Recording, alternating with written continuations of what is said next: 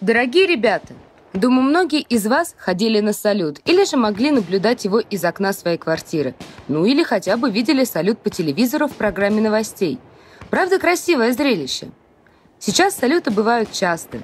Пожалуй, ни один праздник не обходится без грандиозного фейерверка. А вы знали, во время Великой Отечественной войны тоже гремели салюты? Сегодня я хочу вам рассказать о самом первом военном салюте. На окраине города располагалось здание. Табличка на фасаде гласила «Лаборатория Салют». Но уже несколько лет шла война, и лаборатория занималась выпуском сигнальных ракет. Лишь совсем недавно ученые-пиротехники приступили к изобретению праздничных салютов.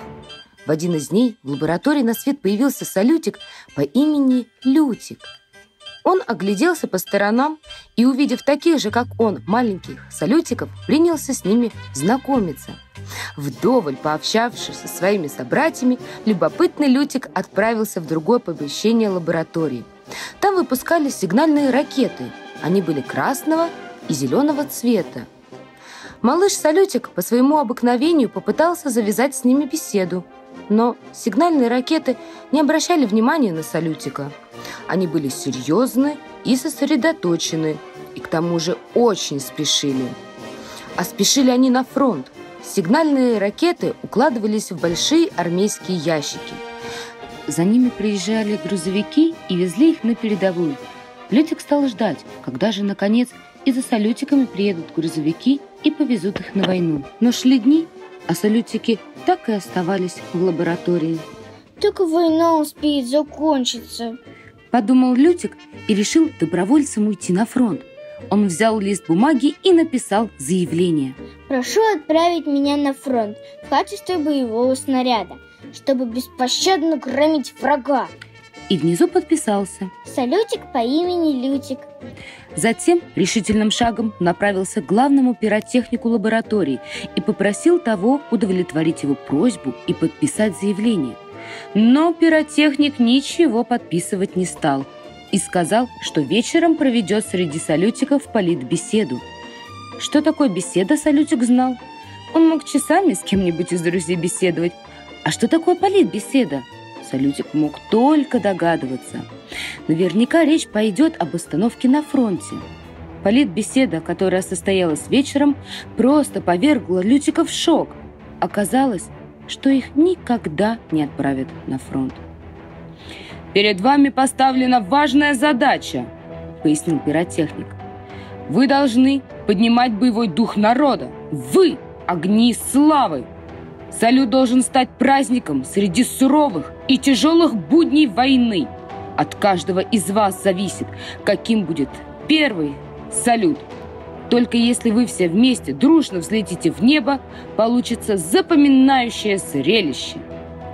Лютик не сдержался и задал вопрос пиротехнику. Ну а когда же мы, наконец, летим в ночное небо? Надеюсь, что уже скоро, ответил он. Сейчас идет Курская битва. Наши танки сошлись в бою с танками врага. Также ведутся бои за города Орел и Белгород. Как только мы выиграем эту битву, то погоним фашистов с нашей родины. И тогда наступит ваш черед. Запомните, ваша салютная точка номер один. Она расположена в Кремле. Вы должны озарить праздничным фейерверком Красную площадь, главную площадь страны. Салютики воодушевились и принялись громко аплодировать. Только лишь Лютик сидел насупившись. Он не собирался сидеть и ждать, когда враг будет разбит. Всю ночь Лютик не спал.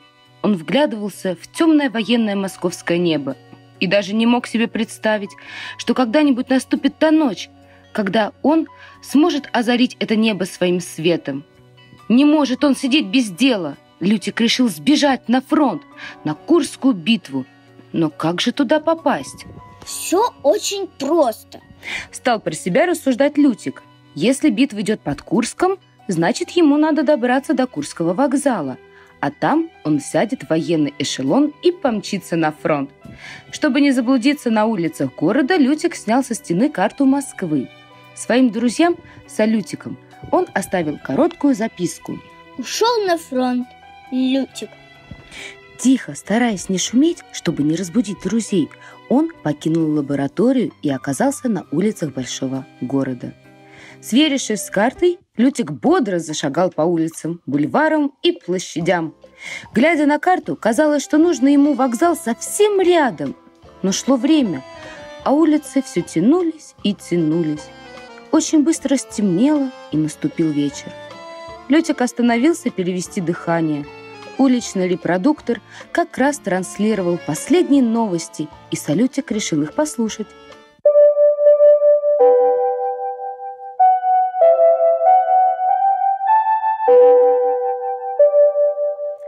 Сегодня, 5 августа 1943 года, в 24 часа столица нашей Родины, Москва, будет салютовать нашим доблестным войскам, освободившим Орел и Белгород, 12 артиллерийскими залпами из 120 орудий. Вечная слава героям, павшим в борьбе за свободу нашей Родины. Услышав слова диктора, Лютик остолбенел. Сегодня салют, первый салют, а он, Лютик, сбежал из лаборатории. Ведь если не будет хватать хотя бы одного салютика, то не получится настоящего фейерверка. Он подвел главного пиротехника, подвел своих друзей, а самое главное, он подвел людей, которые, услышав сообщение по радио, отправятся смотреть салют. Что же делать? И тут он вспомнил слова, которые произнес пиротехник на политбеседе.